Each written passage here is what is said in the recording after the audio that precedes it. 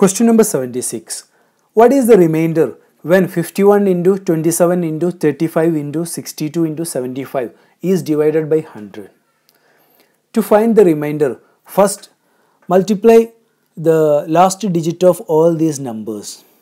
So 1 into 7 into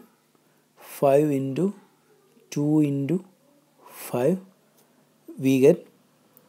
350 that means at the end of this product there is a 0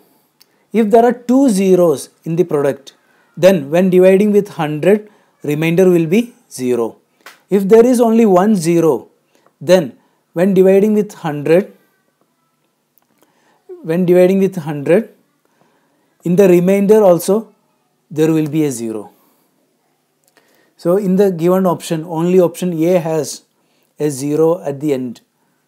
so our answer is option a 50